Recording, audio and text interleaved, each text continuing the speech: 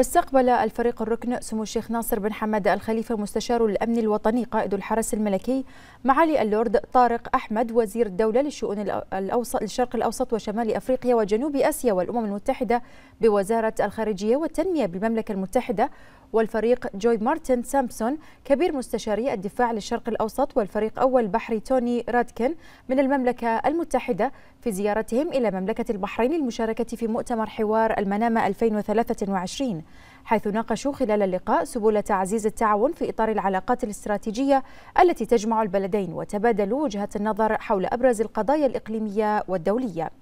وقد أعرب سمو مستشار الأمن الوطني قائد الحرس الملكي عن تقديره للعلاقات الوثيقة التي تجمع مملكة البحرين مع المملكة المتحدة الصديقة مشيدا سموه بالجهود التي تبذلها المملكة المتحدة لدعم الأمن والاستقرار بما فيه صالح المنطقة وشعوبها.